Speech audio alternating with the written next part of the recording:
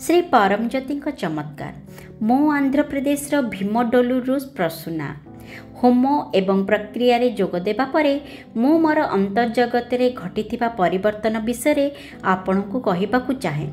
ମୁଁ ଅତ୍ୟଧିକ କ୍ରୋଧିତ ଥିଲି। ଏହାକୁ ନିୟନ୍ତ୍ରଣ କରିପାରୁନଥିଲି ଅନେକ ପ୍ରକ୍ରିୟାରେ ଯେତେବେଳେ ଆମକୁ ଆମ ଅନ୍ତର୍ଜଗତକୁ ଦେଖିବାକୁ କୁହାଗଲା ଏବଂ ଐଶ୍ୱର୍ଯ୍ୟ ସାହାଯ୍ୟ ଲୋଡ଼ିବାକୁ ଅନୁରୋଧ କରାଗଲା ମୁଁ ମୋର କ୍ରୋଧକୁ ଦୂର କରିବାରେ ସାହାଯ୍ୟ କରିବା ପାଇଁ ଶ୍ରୀ ପରମଜ୍ୟୋତିଙ୍କୁ ପ୍ରାର୍ଥନା କଲି।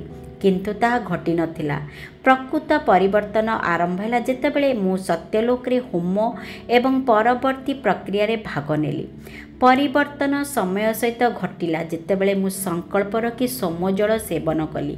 ସାଧାରଣତଃ ଯଦି କେହି ମୋତେ କିଛି କହୁଥିଲେ ତେବେ ମୁଁ ବହୁତ କ୍ରୋଧିତ ହେଉଥିଲି। ବର୍ତ୍ତମାନ ମୁଁ କାହା ଉପରେ ରାଗୁନାହିଁ ଏହି ପରିବର୍ତ୍ତେ ମୁଁ ବିଶ୍ୱାସ କରେ ଯେ ଅନ୍ୟ ବ୍ୟକ୍ତି ମୋର ଅନ୍ତର୍ଜଗତର ସ୍ଥିତିକୁ ପ୍ରତିଫଳିତ କରନ୍ତି। ଏବଂ ମୁଁ କୌଣସି ମନ୍ତବ୍ୟ କିମ୍ବା ମୂଲ୍ୟାଙ୍କନ ବିନା ସମ୍ପୂର୍ଣ୍ଣ ନିଃଶବ୍ଦତାକୁ ଅନୁଭବ କରୁଛି।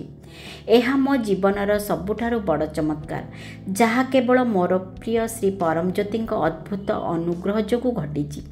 ଯେହେତୁ ମୁଁ ସେବା କରେ ମୁଁ ଲକ୍ଷ୍ୟ କରିଛି ଯେ ମୋର ସମସ୍ତ ସଂକଳ୍ପ ତୁରନ୍ତ ବିନା ପ୍ରୟାସରେ ପୂରଣ ହୁଏ। କୃତଜ୍ଞତା ସହିତ ମୁଁ ସେବାରେ ଅଧିକ ଜଡ଼ିତ ହୁଏ। ମୁଁ ଏହା ସ୍ପଷ୍ଟ କରିବାକୁ ଚାହିଁଛି ଯେ ଚମତ୍କାର କେବଳ ଶ୍ରୀ ପରମଜ୍ୟୋତିଙ୍କ ଅନୁଗ୍ରହ ଦ୍ୱାରା ଘଟିଥାଏ ଏବଂ ମୋ ଜୀବନ ଏହାର ଏକ ଦୃଷ୍ଟାନ୍ତ ଅଟେ। ମୋ ଜୀବନରେ ଅନ୍ତର୍ଜଗତରେ ପରିବର୍ତ୍ତନ କୃତଜ୍ଞତା ଭାବ ଏବଂ ସେବା ଭାଗ୍ୟ ପ୍ରଦାନ କରୁଥିବାରୁ ମୁଁ ମୋର ଈଶ୍ୱର ଶ୍ରୀ ପରମଜ୍ୟୋତିଙ୍କୁ ବିନମ୍ରତାର ସହିତ ଧନ୍ୟବାଦ ଦେଉଛି ଏବଂ ମୁଁ ମୋର ଜୀବନ ସାରା ସେମାନଙ୍କ ସେବା ଜାରି ରଖିବାକୁ ଇଚ୍ଛା କରୁଛି।